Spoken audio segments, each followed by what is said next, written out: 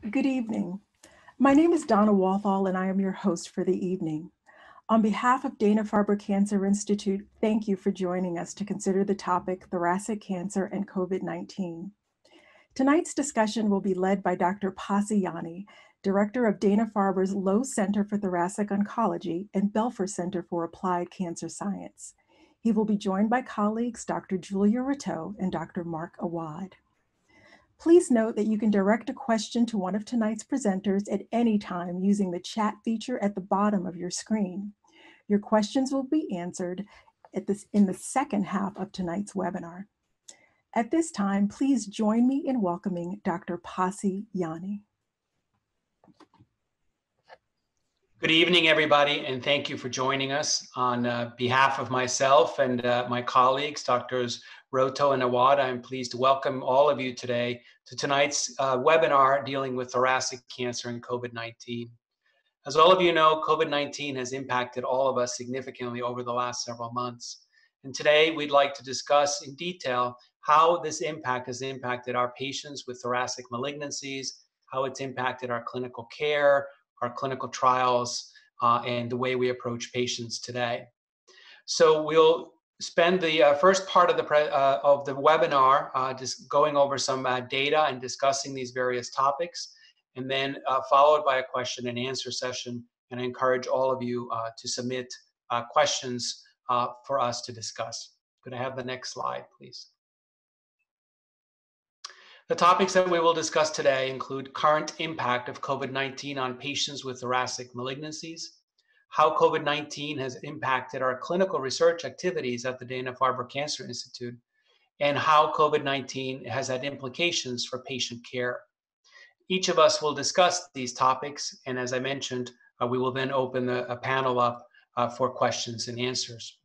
With that, I'd like to turn to Dr. Awad, who will discuss the current impact of COVID-19 on patients with thoracic malignancies.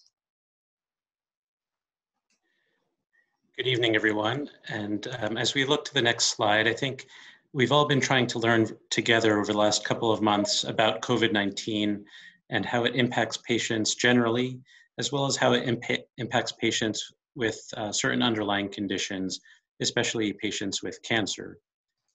I think we've seen a few small studies over the last couple of months um, trying to analyze outcomes in uh, patients with cancer who have confirmed COVID 19 compared to the general population. But more recently, we've been seeing some larger analyses begin to be published on this topic, which I think have been um, helpful to inform some of our management decisions um, as we face patients in clinic. And one of the larger studies that has been published recently is the CCC 19 study, um, which explored the clinical impact of COVID-19 on patients with uh, cancer. Now, this study was not, not just focused on patients with thoracic malignancies, but um, took all, all cancer uh, uh, types um, for enrollment and um, included patients both with active malignancy as well as prior malignancy, um, patients who were on active therapy or who were not on active treatment. And so I think we have to use um, those features um, to take into consideration how they may or may not apply to the patients that we're seeing uh, in clinic or through our virtual visits these days. So if we go to the next slide, you can see some general features about this study in which 928 patients were included in total. About 90 patients or 10% of the cohort had thoracic malignancies, so a relatively smaller subset. And as you can see in the upper left-hand corner, um, nearly half of the patients had uh, their cancer was either in remission or with no evidence of disease. Um, other patients had uh, stable disease that was responding to treatment. Others had progressive disease. Um, down in the lower left-hand corner, you can see the ECOG performance status of the overall population, and about two-thirds of patients had a good performance status, and one-third of patients had either unknown or a poor performance status. On the right, you can see the types of anti-cancer therapy that were administered in this uh, cohort analysis. And uh, the majority of patients had no active therapy in the four weeks prior to their COVID diagnosis. So again, this um, uh, type of study may not necessarily apply to patients that we're seeing who are receiving active treatment in our clinics. On the next slide, you can see some of the outcomes on this study. And overall, about 13% of patients um, died. Now, there are some caveats to interpreting this in that, um, especially in the earlier days of um, COVID-19 pandemic, testing was typically more readily available on the inpatient rather than the outpatient setting. So that may have uh, pre-selected patients with more severe illness rather than um, as we've been testing more and more patients in clinic and in the outpatient setting, um, we may be also seeing patients with milder forms of this uh, viral illness. About 12% of patients were on mechanical ventilation and 14% had ICU admission. Uh, 26 were a quarter of the population um, met this composite outcome, which as shown at the bottom in footnote number three was um, death, severe illness requiring hospitalization, ICU admission, or mechanical ventilation. And the suggestion from this study um, was that uh, patients with a history of cancer or with ongoing active cancer were likely at a higher risk of death than the general population.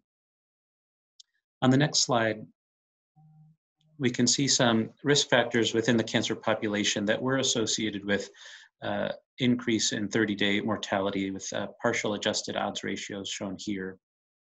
Whereas with um, the general population, uh, the non-cancer population with COVID-19, we see here that older age and male sex have been associated with an increase in mortality, as well as tobacco use, either former or current smoking.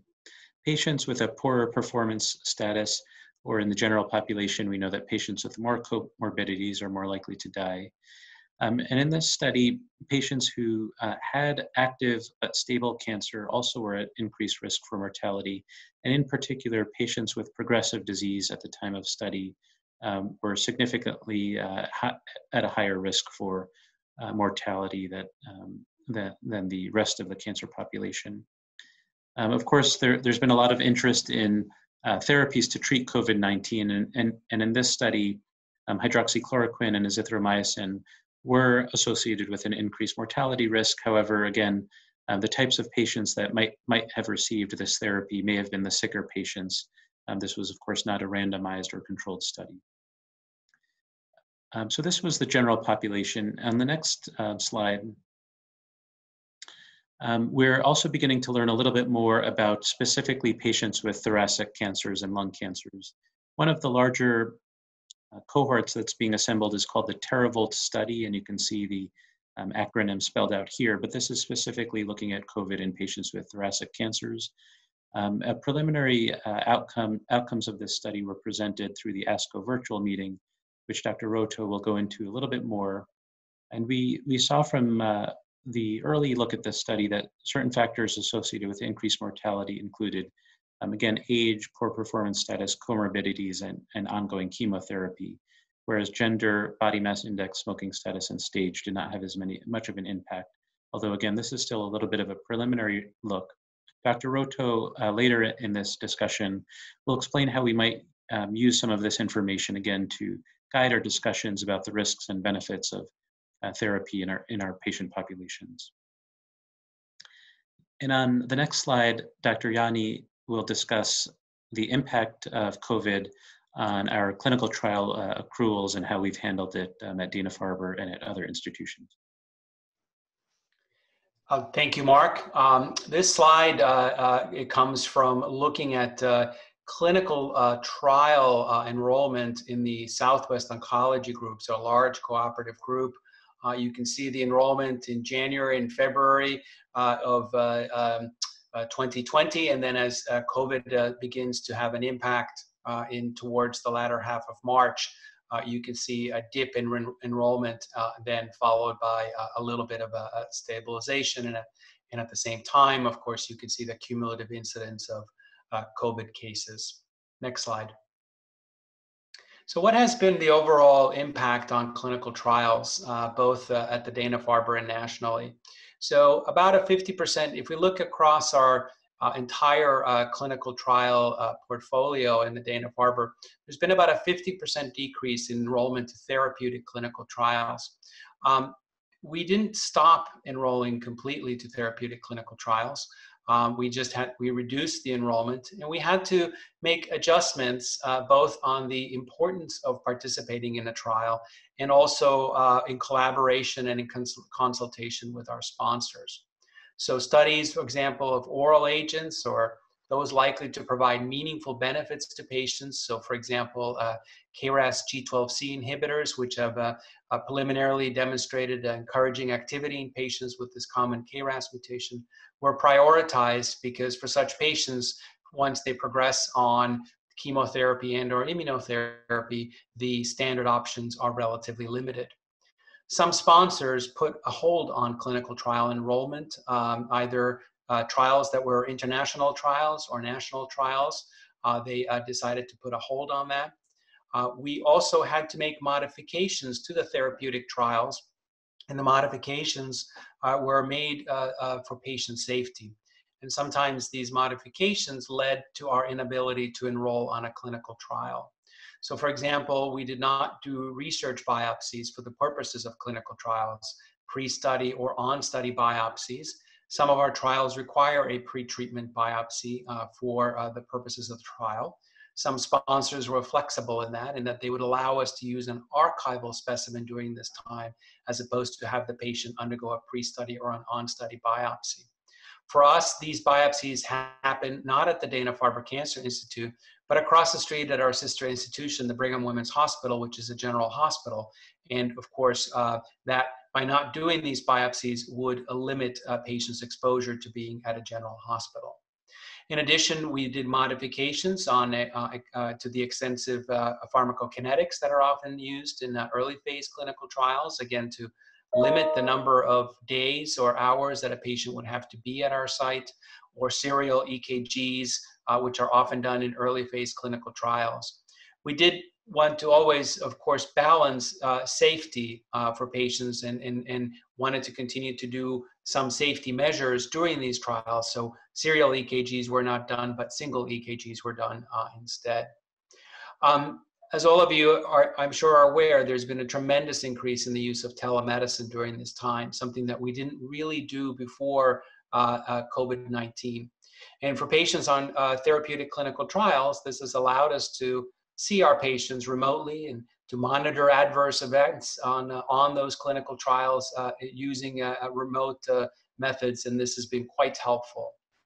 We've used uh, local labs and scans and, and allowed uh, sponsors have been flexible in allowing these to happen. Most of the time, for patients on therapeutic trials, all of the scans and labs need to happen at the Dana-Farber Cancer Institute or whatever institute the patient's enrolled on in a trial, but there has been some flexibility during this time, uh, and uh, hopefully some of these flexibilities will continue even past this era. And uh, and and once uh, uh, and our pharmacy has also uh, been quite flexible in that we've been able to mail out investigational agents to patients as opposed to patients having to come into the Dana-Farber to get their therapies. If we can see them remotely using telemedicine, we can check their labs locally and their scans and make sure they're doing okay on a therapeutic trial, then we're able to mail out the investigational agents uh, to the patients. So these are some of the modifications that we've been able to do to allow us to provide uh, not only care, but to enroll patients uh, to therapeutic and novel clinical trials uh, during this time. Next slide, please.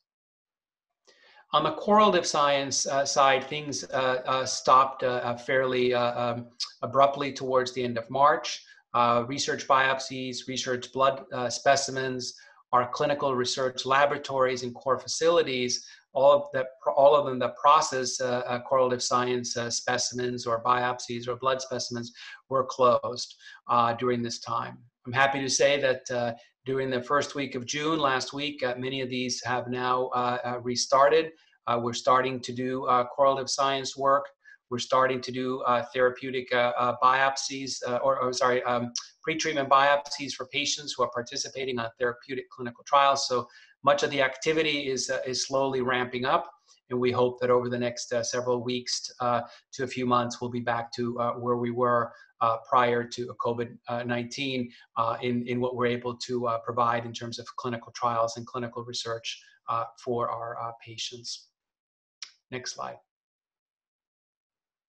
Um, I'm going to transition uh, now and let uh, Dr. Rotow talk about uh, considerations for clinical care uh, during uh, COVID-19 for our thoracic patients. Dr. Rotow.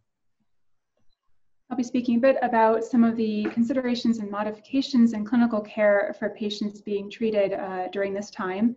I think with the caveat that these all require very personalized risk-benefit discussions with individual patients to help navigate you know, the current situation in terms of degree of disease activity. Um, some of the challenges that have been faced uh, have included the risk of delays in uh, potential for delays in access to definitive procedures, either either surgical or radiation based, or uh, for interventional procedures, uh, and how, how to address that, and also the the drive to minimize patients' risk for repeated healthcare exposures and for uh, significant immunosuppression where possible during this time. Next slide thinking first about patients with early stage disease or patients with resectable uh, non-small cell lung cancer. You know, our usual practice has always been to usually been to proceed with surgical resection and then provide perioperative chemotherapy in the adjuvant setting. Um, we think about wanting flexibility and timing of therapy. You know, it does provide the option to uh, instead shift to neoadjuvant-based treatments, particularly if we're facing a scenario where uh, a surgical resection may be delayed either due to patient preference or due to health system related uh, challenges during a surge in infections. Just highlighting one study of the uh, body of research in this area, looking at neoadjuvant versus adjuvant carbotaxol for, for patients with resectable disease. And you know, this among other studies highlights that neoadjuvant therapy is a very active option for uh, delivery of perioperative chemotherapy and remains a viable option if need be uh, in terms of flexing timing of immunosuppressive and uh, surgical care. Uh, next slide. Uh, I think the other place where patients with early stage disease have some flexibility uh, in, in their care is the surveillance schedules uh, used after definitive therapy. Uh, I think my usual practice, we think about three or four month surveillance intervals, but for patients who are doing well, there is flexibility there. And uh, even looking in the NCCN guidelines copied here for surveillance, you know, the, there's intervals out to six months cited for many patients. So even within the realm of standard of care, there is some flexibility if there's a desire to say, avoid a scan time during peak and infectious activity. Next slide. Uh, the the uh, scenario for patients with more advanced disease is uh, certainly uh, a bit more challenging. Uh, and uh, I think you know, thinking back to the TERAVOLT research studies, we do know that that patients who who are receiving chemotherapy um, rather than say immunotherapy or targeted therapy did have increased risks of death in that particular uh, series, which makes us mindful of, of risks of chemotherapy in this time that may be slightly increased relative to, to usual time periods. Uh, and uh, when they looked at multivariate analysis from, from that particular study set, uh, there was a, uh, you know, the hazard ratio for death was very similar to that seen, for example, age above and below 65 years. So it's not, not a small impact and something that's worth considering certainly our patients can't all have therapy delayed and then there's a, there's a strong imperative to try to offer our patients you know, appropriate therapy as, as best as, as completely as possible at this time. Again, some strategies include uh, you know, capitalizing on flexibility where possible. So for example, uh, the timing of adjuvant therapy for post-op treatment of patients if they haven't received neoadjuvant therapy, uh, you are usually like to think within eight weeks or so, but you know, there's it's also reasonable to push it out. We've been pushing it out as far as 12 weeks to avoid uh, uh, peak infectious periods. Um, similarly, when selecting among chemotherapy regimens, you know, in, in the uh, concurrent chemoradiation space, there's there's quite a lot of options in terms of the regimen that might be chosen. We've really prioritized for, for non-squamous uh, non-small cell lung cancer, cisplatin pemetrexed is a good option for the three-week dosing schedule and reduced risk of uh, immunosuppression and neutropenia. Um, for squamous non-small cell lung cancer, that decision is a bit more challenging where you know, cisplatin etoposide remains a highly active regimen, uh, but you know, seems reasonable for patients who might have been relative parity between a weekly low dose regimen and the, the higher dose cisplatin etoposide. This may be a time where there's another factor tipping that balance towards the weekly regimen where, where other, other factors are, are similar. Uh, going along with risk of neutropenia, I've certainly been far more liberal with my use of GCSF support uh, in this time, where I'm thinking about this for patients much more, much more, er, much earlier uh, along the way if I'm noticing difficulty with low counts or high risk of low counts, depending on the patient. Uh, and then stepping away from chemotherapy, thinking about immunotherapy, which many of our patients are receiving, just wanted to highlight the increasing availability of the more extended interval dosing schedules. Uh, I think most people are familiar with the every four week nivolumab regimen that's been available for a little while. But certainly atezolizumab now has an every four week regimen when you're thinking about your patients receiving maintenance for small cell. And pembrolizumab also now has an every six week dosing schedule, which may be good options for patients who are doing well on therapy and want to come into the clinic for less time or for shorter duration visits. Uh, next slide. Uh, I think uh, one additional challenge is thinking about how to bring patients access to this care and encourage patients to receive care uh, even in potentially more difficult times. We uh, mentioned before the implementation of telemedicine has been critical uh, to, to really engage our patients and move patients' care forward. It's been uh, you know gone from really no visits to I think close to almost half of our visits now are, are moving towards telemedicine uh, along with that, I think for patient reassurance and for patient safety, uh, taking really measures on campus or in the, the, healthcare system to, to promote social distancing while in person. That's included structural changes in, in the layout of actually the buildings, uh, universal screening and masking policies, uh, and again, reducing congestion on campus wherever possible. You know, one of those measures, I think, while necessary from a safety perspective, has been very challenging, which is the, the more restrictive visitor policies that most healthcare systems have had in the last few months. I know that's beginning to uh, become a little less strict here uh, recently, which is which is uh, I think nice to see. Uh, but in the meantime, it's so important to more proactively engage patients' families in their care when they can't be there and present, either through including on the telemedicine video visits or through video phone calls during during the, the clinic visit itself. And then a topic that I can't do justice to in this few minutes here, but the, the topic of equitable access to care. Uh, I think is you know important to remember that even for patients coming into clinic, that, that travel to clinic may become more difficult for many patients right now in terms of difficulties with public transit or safety on public transit or access to rides to the clinic. Telemedicine you know, helps to, to solve that problem for many patients, but not for all. It still requires a, a safe private space with a good internet connection and access to AV, you know, AV supplies. So, you know, for, for some patients, that's still difficult and important to recognize. I think for our non-English speaking patients, there's additional challenges right now and, and you know, ensuring really careful access to interpreter services in the most dynamic way possible has been important. We've been fortunate to have our interpreters be able to participate via Zoom video visits, which has been like, a nice way to encourage engagement. Uh, and then lastly, recognizing the uh, psychological component to the extended periods of isolation and stress that many of our patients have faced and really looking out for virtual patient support services uh, to, to address that element of care right now. Thank you. I think we can go to the next slide. Thank you, doctors, for that informative review. At this time, we'll begin the question and answer part of our webinar. If you haven't already done so, please submit your questions using the chat feature at the bottom of your screen. It's my pleasure to now welcome back Dr. Pasi Jänne.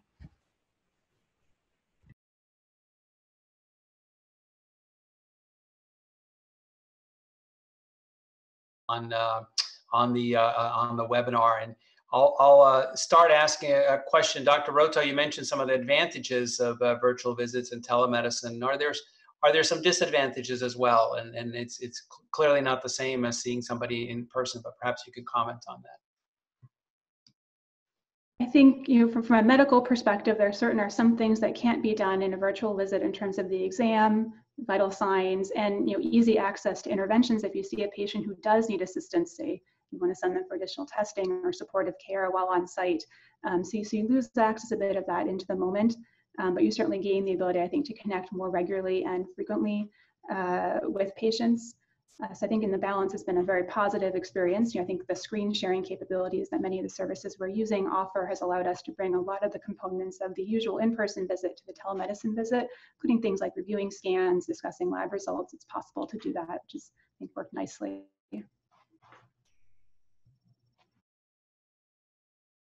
Bit about uh, uh, testing uh, uh, for uh, COVID-19 um, can you comment first on what is our approach or your approach to patients and which patients do you typically test uh, for COVID-19? And secondly, given that there are some different outcomes or risks of uh, poor outcomes if someone is going to get chemotherapy versus immunotherapy, would you approach that patient in a different way? Would you test or not test the patient depending on what type of therapy you're about to administer him or her. Uh, thank you very much, uh, Pasi. I think these are really good and important questions, and I think um, one of the challenges is, is, again, we're all trying to um, learn and understand uh, the features of, of this viral infection in the general population and in our cancer patients is um, evidence has been changing and, and recommendations and guidelines have also been changing week by week or sometimes even day by day. And so I think this is a, a moving field and um, we often don't have a lot of pers- prospective data um, to guide some of, of this decision making. And so we have to, in part, rely on uh, consensus guidelines, both from national uh, organizations such as ASCO, but also um, local guidelines within the state or within the specific institution. So there have been questions about, um, you know, prior to the initiation of therapy, should we test uh, asymptomatic patients for COVID-19 um, to use that to say, uh, see if that would uh, guide our management or alter our therapy, um, either to delay therapy or to uh, to modify the regimen in some ways. And currently, we haven't uh, necessarily been rec re recommending that for our, our uh, patients um, who are coming into clinic and are otherwise uh, not displaying symptoms of COVID-19. I think that's um, there. There are some special populations, for example, um, patients at Dana Farber or who are admitted to the hospital. Um, uh, in, all inpatients have been screened universally for COVID-19, whether or not they're about to start a new regimen. But in particular, patients who are undergoing a stem cell transplant um, have been uh, recommended for uh, testing, even in the absence of symptoms, uh, prior to proceeding with a myeloablative type of regimen. So there are certain uh, cancer patient populations in whom uh, testing may be recommended uh, per the institution or per national guidelines um, prior to the initiation of, of therapy. Um, in terms of other um, uh, scenarios where you know testing questions arise, is among patients who um, either had a had a prior diagnosis of COVID-19, when is it safe to bring them back into clinic? When is it safe to resume care? Some uh, people have asked, um, should we keep testing uh, positive patients serially to document clearance of COVID-19? And I think um, there are uh, some challenges to that, and, and we do know um, there are some uh, issues just regarding the overall sensitivity and specificity of the PCR-based testing uh, for patients with active disease. And then we also have a sense that um, uh, we're hearing more about so-called uh, long-term uh, viral shedders, so patients who um, have evidence of positive PCR testing even several weeks after the initial test and several weeks after their symptoms have resolved. And we're not really sure what, what uh, this means. Um, you know, some people have asked, does this mean reinfection uh, versus uh, perhaps uh, uh, persistent viral particles um, within the, these patients? So our general practice and guidelines um, at the Dana-Farber and Brigham and Women's Hospital is if there is confirmed COVID or if there's suspected COVID, we require uh, two tests to be done uh, 12 to 24 hours apart, uh, showing negative test results um, to, to have some reassurance that we don't need to maintain you know, very strict uh, contact and, and uh, respiratory precautions with patients in clinic. So this, this is a, a challenging um, field and a challenging topic, a very important question, um, but can be hard, hard to um, hard to know what the right answers are, even in the you know in the absence of uh, prospective data.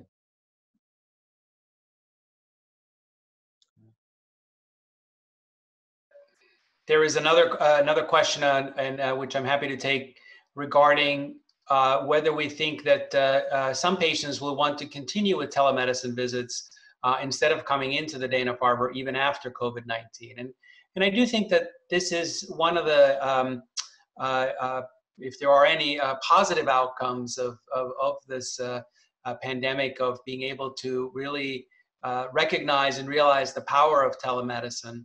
Uh, we, we certainly have patients who come and see us and uh, uh, may get their care uh, uh, locally, which may be hours to many hours away, and it's difficult for them to come come back and see us on periodic checkups and and so forth. And I think this is a a, space, for example, where uh, telemedicine uh, could play a role. And I, and I do hope that uh, it will continue to be there after COVID 19.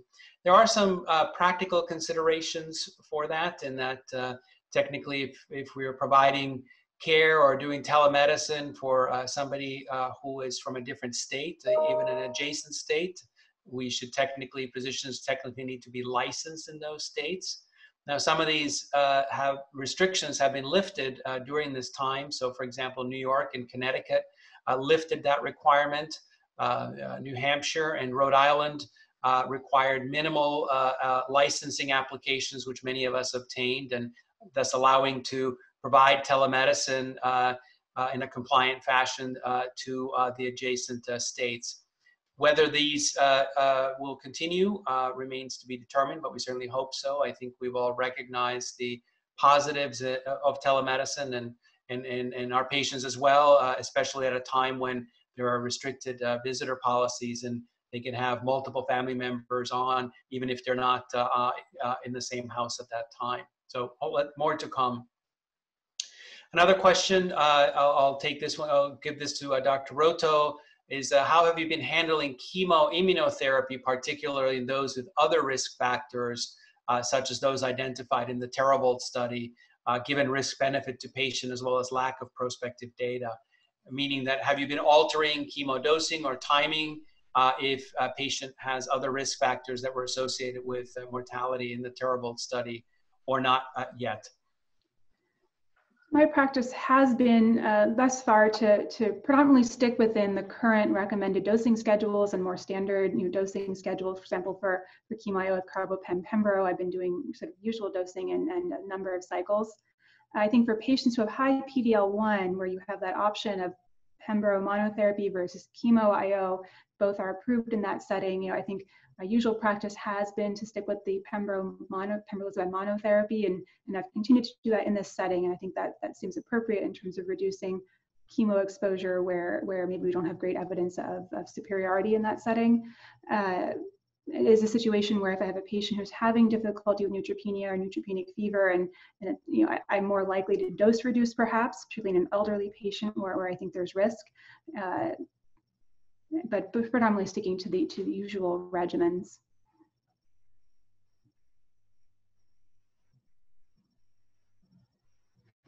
A question for Mark. Uh, do you think uh, data or outcomes can be uh, reliably assessed for clinical trials conducted during this time? I mentioned some adjustments that have to be made. Uh, do you think that impacts our ability to interpret the outcome of trials or, or not? Yeah, I think this is a really important question because there are some very important um, ongoing clinical trials that are, are, are, currently being, being run. And so, you know, uh, when we assess trials, the integrity of the data is, is really paramount to assessing um, and comparing uh, emerging data to existing standards of care. And so, you know, I think um, the challenge has been that for every institution, I think has handled things differently. And then it also there have been a lot of differences um, uh, according to the trial where um, some trials have, have completely halted to enrollment.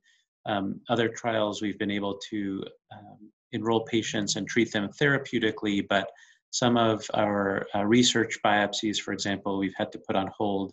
Some of the um, extra monitoring, as you mentioned, with uh, EKGs or pharmacokinetic analysis have also been curtailed and put on hold. So there may be uh, large aspects of the of the trials that will be uh, limited or even compromised um, because of um, some of the restrictions and limitations that have put in place because of COVID-19. For example, you know, trials that are trying to correlate a, um, a biomarker from a biopsy with outcomes, um, there may be fewer samples that are available for those types of comparisons and analyses. So that may be a, challenge for some of the trials that have continued to enroll while on therapy. I think um, for the large part, however, I think looking at um, key therapeutic outcomes um, such as uh, response activity and, and progression-free survival, um, overall survival, um, our hope is that these will not have been sig significantly impacted um, uh, due to the, the current environment or the, the current climate. Of course, if, if patients um, who are on a trial happen to contract COVID 19 and, and have complications, hospitalizations, um, ICU admissions, or even mortality from COVID 19, I think that can certainly uh, affect how we, how we interpret outcomes on trials um, since you know, survival is, is not necessarily ascribed, uh, or, or death on a trial is not necessarily ascribed to uh, COVID-19 or disease progression, or it may not be possible to, to understand the cause of death in these situations. But I think um, in large part, we've been really trying to think carefully about patients and enrollment onto trials and really enroll those patients um, in whom they're still uh, quite, you know, generally fit and healthy with a good performance status, patients in whom um, they are able to come in when, when absolutely necessary or who have um, the uh, good ability to participate in uh, telemedicine visits so that um, they can stay in touch with us with any questions or problems um, uh, and or receive uh, care closer to home but still um, still adhere to a lot of the trial requirements just to be able to maintain the integrity of those of those studies. But it is it, it, it is a challenge as, as we think um, about how to modify our trials to keep our patients safe but also um, not modify them uh, too too drastically in such a way that it, it really affects the integrity of, of the trial outcomes. Maybe to uh, just build upon that a little bit, and, uh, and I'll ask Julia, who actually uh, spent some time on the inpatient service, uh, in that uh, sometimes our therapies give toxicities, and those are pulmonary toxicities. Patients may have pulmonary infiltrates, they may have difficulty breathing, and it may be hard to sometimes separate is that a drug toxicity or is this uh, covid-19 uh, julia any any thoughts on that uh, since you saw patients in the hospital and and were there any were, were is it sometimes difficult or not at all to separate what was covid-19 and what was a drug toxicity recognizing that even covid-19 testing isn't uh, perfect yeah, I think it's certainly a challenge, especially in the era of immunotherapy, where checkpoint inhibitor-related pneumonitis can manifest as you know cough, shortness of breath, and bilateral ground glass infiltrates, which is very similar to the appearance of uh, COVID-19 pneumonia. You know, sometimes I think we're fortunate in the sense that there's a good clinical clinical scenario that makes makes one or the other more clear. You know, the URI symptoms and a fever, you know, like leads you down the COVID-19 path, and a patient, you know, on a checkpoint inhibitor without other classic COVID symptoms helps to lead you down the checkpoint inhibitor pathway, the pneumonitis pathway, and certainly the challenge is that the treatment for pneumonitis is you start high dose steroids, which is not, not entirely desirable for a patient if they had an active coronavirus infection. I think what's been helpful more recently as uh, you know, testing for coronavirus has become more mature and we have faster turnaround times. You know, we're no longer potentially waiting days to at least have some preliminary data. I think that's been helpful to more quickly narrow down a diagnosis and allow you to to to either start or escalate steroids. Um, so so that that I think is an ongoing ongoing challenge. But as our testing gets better, it's gotten a little easier to address. Uh, um, Mark, as you know, uh, uh, we couldn't do uh, routine surgeries and or even biopsies for a period of a few months. Do you think this will have a negative impact for our patients with suspected uh, lung cancers in terms of the delay in diagnosis and workup and, and, and moving forward? I think this is a, really, you know, good question. Also, a little bit of a frightening question or topic um, because we we have seen data not as much for lung cancer, but in uh, breast cancer screening, colon cancer screening, cervical cancer screening. We've seen a very steep decline in in screening uh, uh for for cancers um, compared to similar uh, time of year in, in, in preceding years. And so um, there is a, a, big concern that um, you know the uh, there are already you know certain barriers to getting uh, lung cancer screening done in, in, in, general times or in the lung cancer uh, for the for patients that are risk for lung cancer. And I think now, um, especially as we've been trying to minimize exposure to patients to different uh, medical settings or diagnostic testing centers. I think uh, many patients are delaying um, delaying screening, for example, or uh, patients who are having symptoms um, may also be de- delaying making doctor's appointments, seeing their oncologists. Um, patients who have a, a nodule that um, is a bit indeterminate might be put, pushing off um, evaluation, such as a biopsy or, or a surgical resection, um, or they might be counseled to to delay um, to delay that workup by their medical team um, in light of of the uh, potential risks of coronavirus exposure. And so I think there is concern that um, you know either uh, our, our uh, ability to, to have detected cancers early will be delayed, um, including in patients with uh, with lung cancer, or that um, you know the cancer could grow or or advance or spread to you know lymph nodes or or met, you know uh, metastasize to other areas of the body while uh, their workup or evaluation is delayed. Um, you know, as I've been seeing patients in clinic, um, you know, this week or, or last week, for example, um, there have been a couple of new patients in whom I did wonder, um, since they uh, presented with, you know, fairly severe symptoms about whether or not um, part of their initial presentation to their primary care doctor um, was a bit delayed in, out of concern or, or caution for um, for preventing uh, COVID-19 exposure or, or not wanting to bring patients into uh, clinic settings or, or, hospital settings. So I, I, have wondered already if some of the patients that are presenting today or or in the coming weeks will um, will have presented with a bit of a delayed um, delayed workup and, and evaluation. I might add even on to that, you know, I think um, for our patients who have known diagnoses, you know, I think they've heard very loud and clear the message of self, you know, social distancing, self-isolation, and and that for, for some patients has led to a worry about even coming into clinic for their care.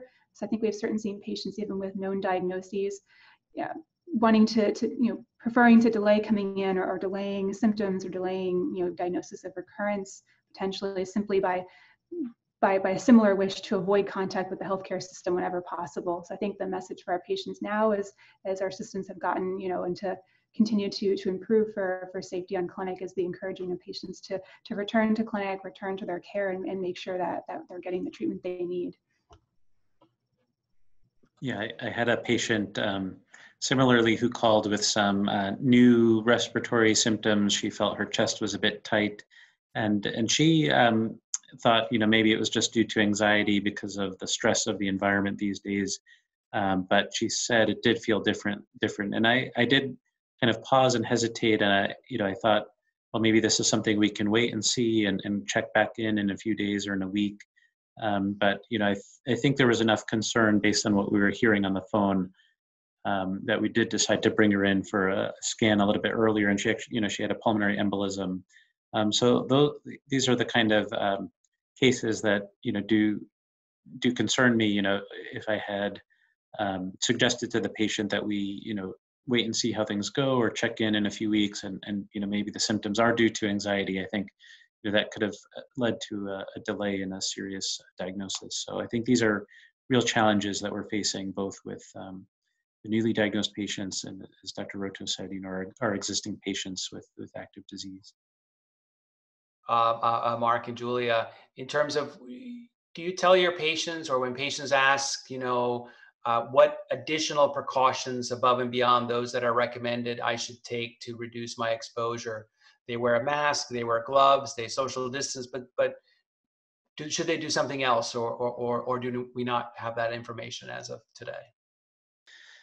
You know, I think this is tough, and as Dr. Rotow mentioned, um, you know, I think we we really are seeing some of the psychological impacts of uh, COVID-19 in our patients as well, and and it has been hard to try to balance, you know, their overall well-being and and that need for support and the need for connection with um, with safety, and and I think we are hearing a lot of fears from our patients that they are, uh, you know, worried and, and afraid about um, you know, as, as they're hearing more about how coronavirus uh, might affect patients with cancer, I think there's a real fear among patients. At the same time, you know, when they're going through uh, very scary uh, diagnosis of, of lung cancer or, or cancer in general, um, it has been very difficult. You know, we have um, a no visitor policy in the vast majority of cases at Dana-Farber. And so patients who are used to coming in um, with a support system or with family members, particularly when we discuss scan results or when there's bad news. I think it's very difficult for them. We, we try as much as possible to call and dial in the family members um, or to have them on video in the room with patients. Um, but we're, we're also really trying to emphasize the need for precautions. Um, in general, I haven't been telling my patients to take, uh, you know, a, lot of, you know, extra precautions if they are otherwise, you know, doing fairly well and are generally healthy and are not on, you know, a, a particularly strong or immunosuppressive regimen. Um, you know, some of our patients are asking about if they can go to a baby shower they were invited to, or now that the weather is getting nicer, to go to a barbecue or cookout. And you know, you you hate hate to be the one to kind of uh, uh, you know impact their their social interaction. But I think we we say you know kind of taking it on a case by case basis. If if they could go to an environment and still maintain some distance and not necessarily be um, coming into contact with a lot of other people or touching things that a lot of other people are touching, then um, you know it it may be safe to kind of follow the local guidelines wherever they live, and and maybe you know have a small uh, gathering with some you know friends outside or family members outside. Um, but in in general, I think we've been trying to uh, you know work with patients and, and follow the local guidelines depending on um, the you know the state or the region that they live in um, to help support them, help them to still maintain some engagement, some interaction, because, because I think that really helps them overall in their general sort of health, their well-being, their mental uh, state, also their kind of physical energy, um, while at the same time, you know, trying to, um, you know, relay that that uh, coronavirus, you know, in a patient with cancer could could potentially be quite serious. Yeah, I think for, for the patients, many patients I see in clinic, you know, I won't have seen them. Maybe they're on surveillance. It's been two or three months since their last visit. And they'll tell me that this is the first time they've been out of their home and I'm the first person they've seen in two or three months. And that takes a, a real toll on, on an individual trying to go through that. Um, so I think especially for our patients with advanced disease, there's such an importance of balancing quality of life considerations and, you know, not you know, when, when possible from a safety perspective, still have them be able to take part in some of these really big life events like baby showers or weddings if it can be done with with distancing um, but it's a difficult question i think another challenge has been you know a lot of my patients have been much more sedentary than usual because they've been trapped in their homes so encouraging you know the things that we always want our patients to do in terms of staying active staying staying moving around staying walking has has been i think an important message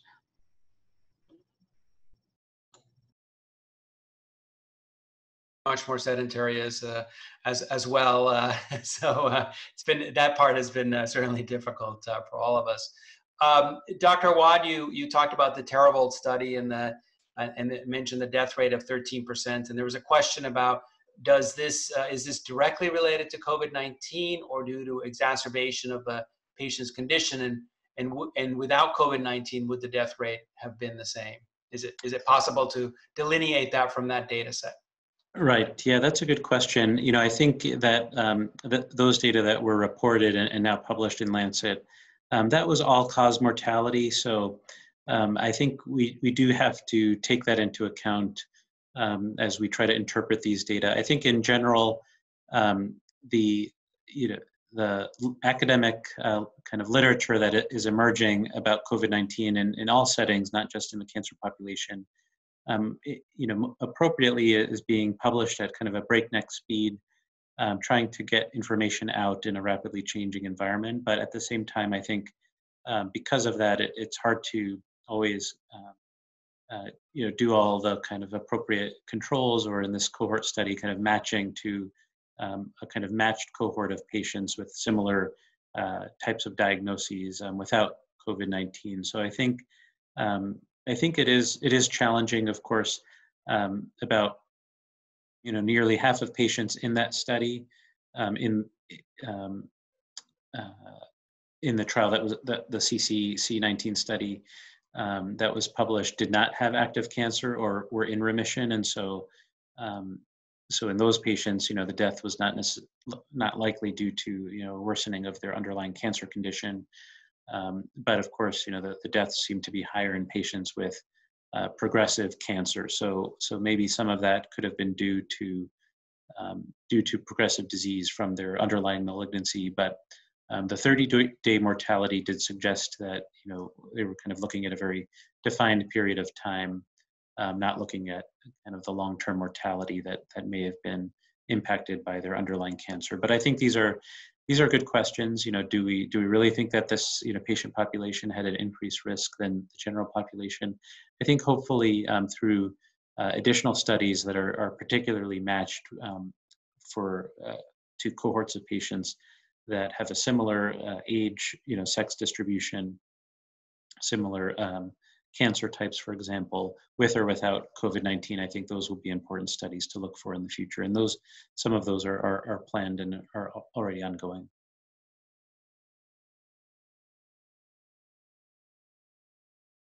To uh, uh, build on that a little bit, there are uh, not only the the TERAVOLT study, but other other such uh, ongoing cohort studies. And what uh, um, do you think? Uh, uh, what additional pieces do you think we'll learn from these ongoing studies? And do you think that that that information will help us prepare if, for example, there is a resurgence of COVID or a second wave in the future?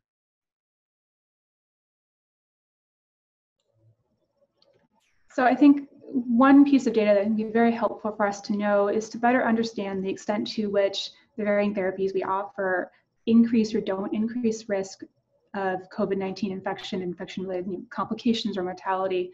And knowing that information, I think will help us to have better conversations and more informed conversations with our patients about risk benefits of therapy and, and may help us make decisions around deviating from our current standard treatments if we truly come to recognize that some particular component of care is raising risk. I think that that will certainly uh, be informative. I think perhaps not specifically from TERAVOLT, but in general, I think harkening back to one of the earlier questions, understanding how do we understand the end of infectivity, the end of transmission risk, and the start of transmission risk. And that'll help us guide patients and, and infection control measures in, in, the hospital and clinics so that we can really you know, minimize risk across the board. And I think information about that has continued to become uh, available as the pandemic has gone on. And I think will continue to inform those policies. We, we also have uh, uh, recently heard about uh, and seen some data on some potentially promising therapies for uh, COVID, remdesivir, and some of the uh, IL-6 antibodies. Do we have any sense of how do these therapies interact with anti-cancer therapies, and and if one needs to be treated with these therapies, what do we do with the anti-cancer therapies at that time?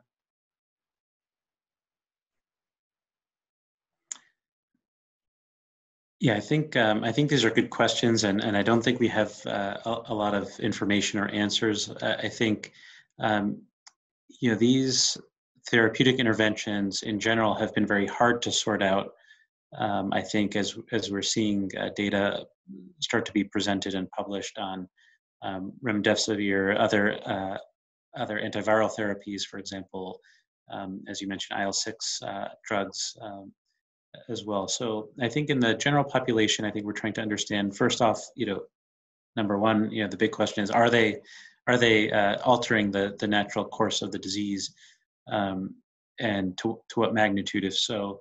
And then I think among our patients with malignancy, I think these are also important questions um, about whether these therapies could potentially interact with their their anti-cancer drugs. Um, we don't, I, I, think we don't have a great sense, especially the, the immune modifying agents, whether or not they might, um, uh, you know, uh, counteract some of the effects of the immune checkpoint inhibitors or potentiate some other uh, other effects. I think um, we don't have a lot of information. There, there was, um, you know, very kind of a small study published in Cancer Discovery out of Sloan Kettering on um, immune checkpoint inhibition in, in patients with lung cancer uh, who, who did have COVID-19, but that was a very heterogeneous population of patients who may have received immunotherapy you know, very recently versus patients that received immunotherapy in the past.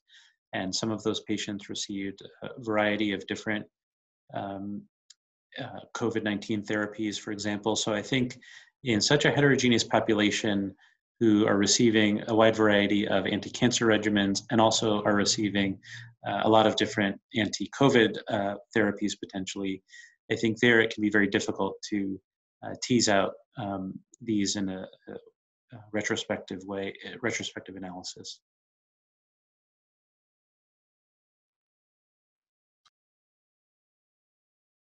uh, kind of some uh, final thoughts here. What, what, what have been the biggest challenges to both of you uh, as a thoracic oncologist during this time?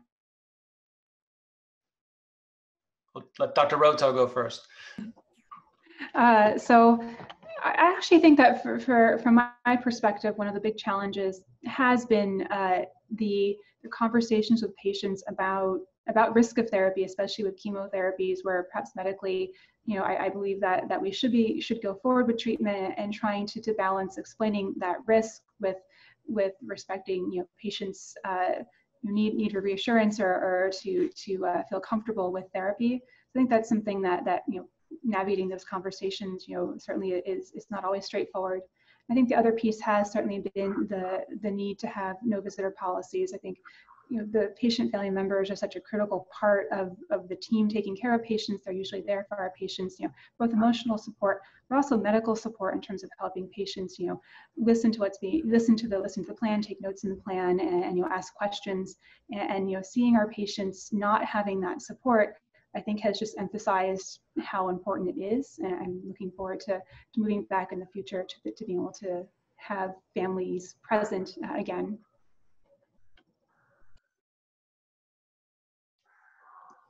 I, I, agree with uh, Dr. Rotow, and and um, you know I think on one hand one of the challenges is just getting used to uh, telemedicine, which is not something I had ever done before, really, and you know trying to to assess patients from afar and remotely and to do it effectively and safely, I think is a challenge. But really, I think the um, you know trying to figure out how best to support patients and their families um, during these challenging times and have difficult conversations, often about hospice or um, transitioning towards um, supportive care, I think is very very challenging.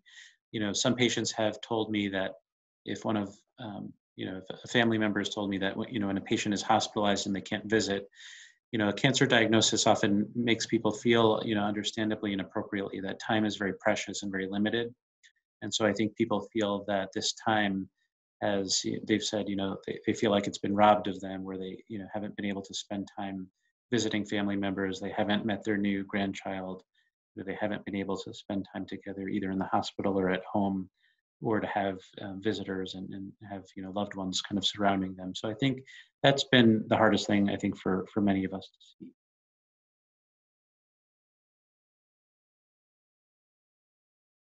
see maybe i'll just add that uh, uh, and, and uh, that it is it is the additional uncertainty that comes with uh, COVID-19 and this and what's happened. Cancer and being diagnosed with cancer, of course, is a time of uncertainty for many of our patients, and I think that that added stress and, and, and all of the subsequent implications has made it uh, more difficult. And uh, I do hope that uh, as, as we move forward and, and, and have better ways of preventing and treating COVID-19, uh, we'll get back to a, a more normal, normal pace uh, uh, for treatment and uh, a diagnosis of our patients with thoracic malignancies.